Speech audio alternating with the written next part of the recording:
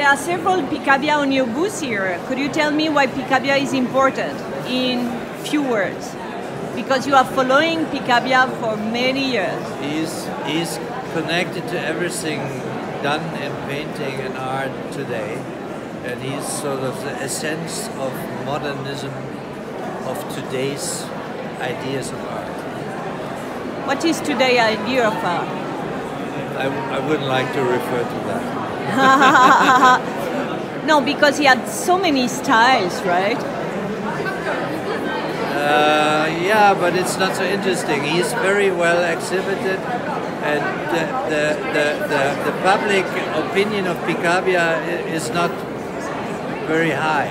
Yeah. He, he's original, so to say. But now there's a show in the south of France, which is Picabia, Picabia and Picasso, and if you look at the catalog, you see how equal the two are in in their, you know, in their magic, what, what they do, what they paint.